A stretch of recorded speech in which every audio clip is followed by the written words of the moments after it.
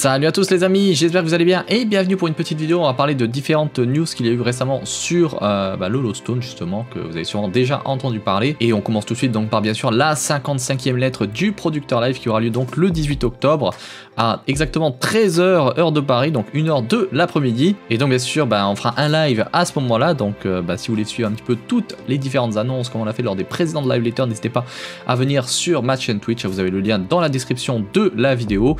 Et on peut voir que donc il y aura Naoki Yoshida avec euh, des invités qui euh, bah, montreront un peu encore une fois le raid en alliance. Il y aura Dark Apocalypse, donc le raid de Nier Automata, ainsi que la reconstruction de Gigard. Et ce coup-ci, bien sûr, vu que c'est la deuxième partie de la présentation du patch 5.1, on aura des démonstrations de jeu à l'appui, donc sûrement du gameplay, du footage, ce genre de choses-là. Et on peut voir aussi qu'on aura d'autres annonces diverses. Alors ce n'est pas la seule nouveauté qu'on a eu sur le Lost Stone dernièrement, et euh, les autres nouveautés sont des choses qui vont être annoncées lors de cette live mais qu'on peut déjà voir maintenant. Donc on commence tout de suite par bien sûr des ajouts de nouveaux terrains, puisque le housing c'est quand même quelque chose que beaucoup de gens euh, ont envie de, faire dans le jeu et qui est un peu quand même limité, puisqu'il n'y a pas non plus des, des terrains illimités malheureusement pour tous les joueurs. Et donc à la 5 points, ils vont rajouter les secteurs 19 à 21, euh, ce qui fera un total de 720 euh, euh, bah, terrains par, euh, par monde en fait, c'est-à-dire qu'il y aura 720 maisons de disponibles en plus par monde, en plus des appartements qui seront rajoutés au même moment. Donc par contre ce sera d'abord limité bien sûr que pour les compagnies libres ou les personnes qui veulent déménager, hein, c'est comme c'est écrit un petit peu en bas. Et, donc si vous cherchez bah, une maison individuelle,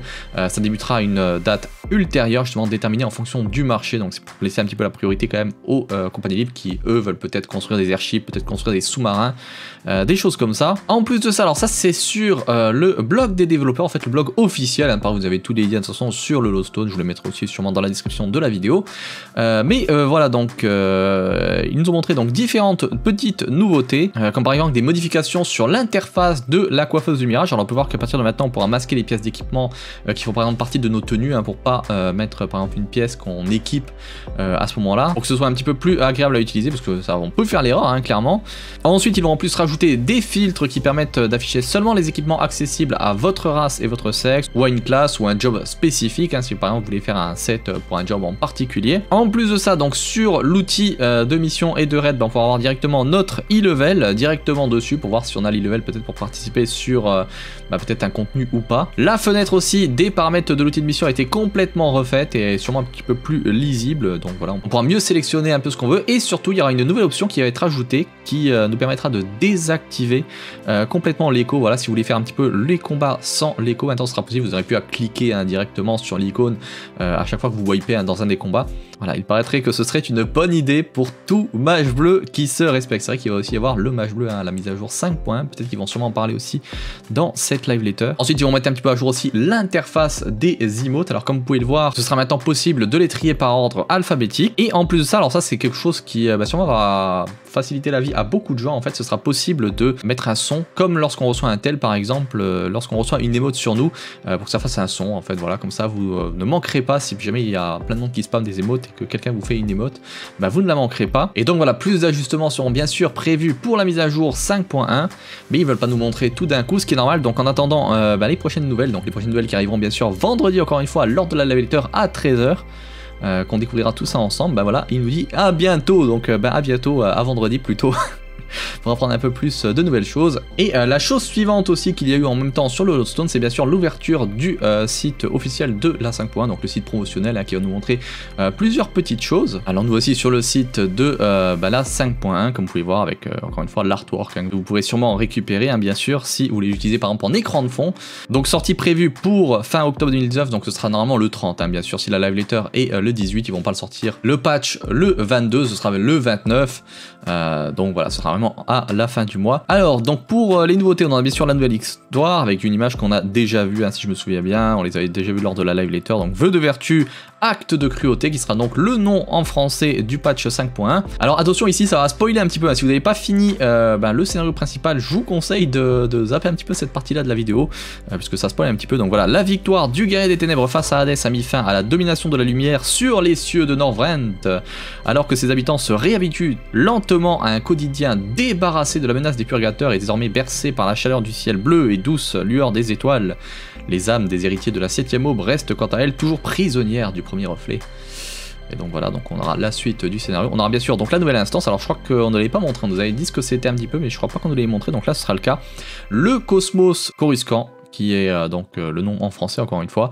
Chacun sait que l'origine du trône au centre du Grand Lac, mais beaucoup ignorent que sa rive sud est occupée par un palais autrefois habité par les familles royales elfiques.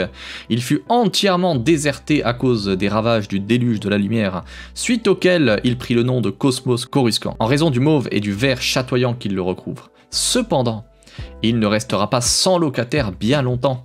Donc on peut voir quelques euh, différentes images de ce donjon, on peut voir que ça semble un petit peu là quand on est tout en haut du palais d'Alamigo par exemple, on peut voir sûrement un des boss hein, qu'on va pouvoir affronter dans ce donjon. Et on peut voir bah, les différents sets hein, qu'on pourra récupérer par exemple pour euh, le Mirage directement euh, dans le donjon aussi, qui rappelle beaucoup le set un petit peu du PVP j'ai l'impression avec l'espèce de, grosse queue comme ça derrière et tout. du Mage Noir, hein, si vous avez connu le, premier set PVP qui était énorme, le premier set PVP était magnifique sur le jeu. Euh, ensuite, bon, bien sûr, on a deux nouveaux éléments de jeu. Donc, bien sûr, le mode nouvelle partie. Euh, voilà, si on se sent nostalgique, donc ce sera possible, euh, comme on a pu le voir par le, passé, de refaire des quêtes. Voilà, on peut voir notre cher ami disparu que vous avez reconnu tous. Et puis voilà, l'interface, ça on l'avait déjà vu et tout. Ça va nous permettre de rejouer un petit peu le chapitre qu'on a envie et de pouvoir l'activer ou pas en fonction de si on veut refaire le truc ou si on veut par exemple peut-être faire une pause. Euh, en même temps, donc il n'y aura pas Eurim Reborn, puisqu'ils vont bien sûr retravailler un petit peu les quêtes euh, de Eurim Reborn euh, à la 5.3. Il sera sûrement rajouté d'ici là, mais vous pourrez refaire les quêtes de Evansward, de Stormlord ainsi que de Shadowbringer. Ils vont ajouter le système de communauté, comme on l'avait vu, qui nous permet de rejoindre jusqu'à 10 communautés. Et les membres dans les communautés peuvent être jusqu'à 1000. Ça peut nous permettre de faire de la chasse, de faire voilà, du PVE, de la pêche, le logement, jeu de rôle, chasse, toute autre activité. Et on trouvera forcément une communauté faite pour faites pour nous. Et donc, est-ce qu'on créera justement une communauté pour la chaîne peut-être Est-ce que c'est quelque chose qui vous intéresserait? On va voir. Donc voilà, et puis vous avez pas mal d'images hein, donc de tout ce qu'on a vu. Voilà, si vous voulez utiliser ça comme, comme écran de fond, je suppose qu'elle était déjà disponible, mais là elle est vraiment en euh, bah, la plus haute qualité possible, je suppose. Et voilà, écoutez, c'est un petit peu tout pour ces news. Et donc voilà, je voulais aussi revenir sur un point, parce que vous avez vu sûrement qu'il n'y a pas eu de vidéo beaucoup ces, euh, derniers mois, hein, surtout ce, dernier mois où il y a eu que, je crois, une seule vidéo hein, dans tout le mois. Euh, bah forcément voilà il s'est passé des choses euh, dans ma vie qui ont fait que bah, je n'étais pas trop en état malheureusement de, pouvoir vous proposer du contenu. Et ça bah, je suis quand même désolé parce que je sais que vous êtes abonné à la chaîne je sais que vous attendiez sûrement ah, beaucoup de contenu sur le jeu. Vous êtes beaucoup euh, venu me demander comment ça se faisait qu'il n'y avait plus grand chose donc voilà je voulais quand même faire un petit message. Je voulais pas forcément faire une vidéo dédiée à ça mais quand même vous en parler un petit peu euh, bah, pour vous dire voilà que je vais essayer quand même à partir de, cette semaine, hein, sûrement euh, peut-être à partir de la live letter ou peut-être avant, je verrai si j'arrive à proposer un peu d'autres vidéos et tout.